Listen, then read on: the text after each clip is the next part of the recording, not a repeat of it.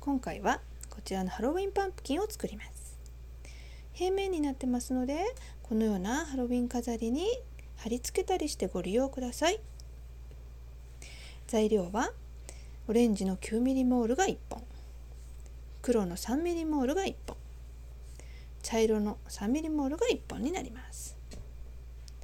まずオレンジの 9mm モールこちらの端をちょっと折り曲げていただいてこのままくるっと円を描くように渦巻き状に巻いていって丸い形を作ってください。この時モールをギュッと押さえつけないように優しく持って巻いていってください。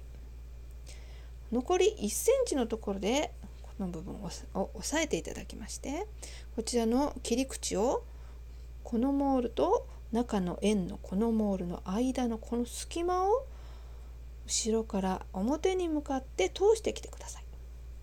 そして端を折って止めます。止まりましたら丸い形がきれいになるように整えてください。こちらの面が裏になります。表に向けて置いておいてください。今度は三角の目を作ります。黒の 3mm モール。こちらを4センチに2本切ってください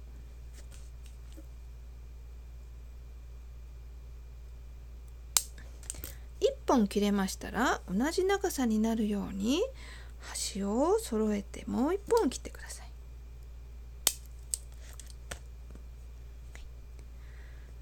ちらのまず端から 3mm ぐらいのところを折ります。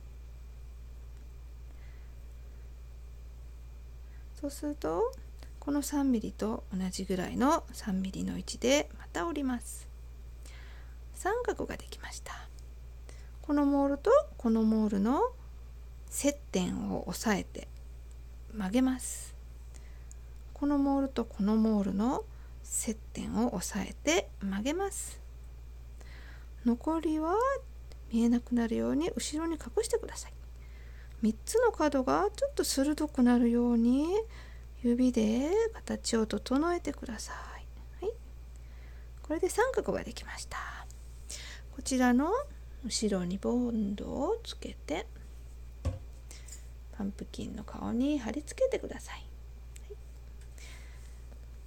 い、もう一つの黒いモールで同じように目を作ります。3mm のところを折り曲げます。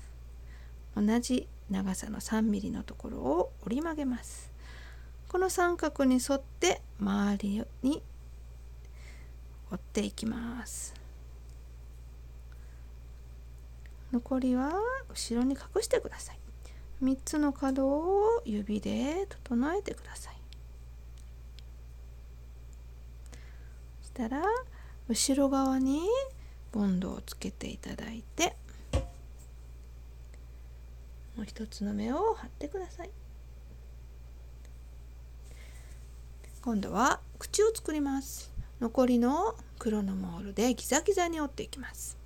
端から約1センチのところを折り曲げます。この1センチの約半分5ミリ程度のところを折り下げます、はい、ここに一つ山ができました。この山と同じ大きさの山を横にもう一つ作ってください。山が2つできました。この底の位置に合わせて折り上げていただいてこの長さと大体同じぐらいの長さになるように残りを切り落としてください。で口ができました。後ろにボンドをつけます。して顔に貼り付けます。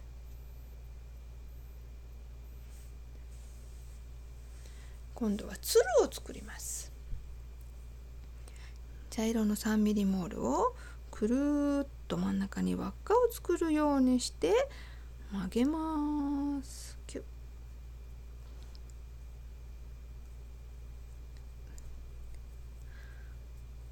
しますと適当なところを残して上をチョキ。